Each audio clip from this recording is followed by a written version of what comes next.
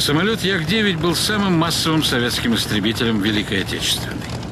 Воздушным рядовым прозвали его в армейских газетах. На заводе в Новосибирске собирали до 20 самолетов в день. Истребитель Як-9. Взлетный вес 2870 килограммов. Максимальная скорость 600 километров в час. Практический потолок 11100 метров. Дальность полета 910 километров. Вооружение – пулемет УБС калибра 12,7 мм и пушка «Швак» калибра 20 мм.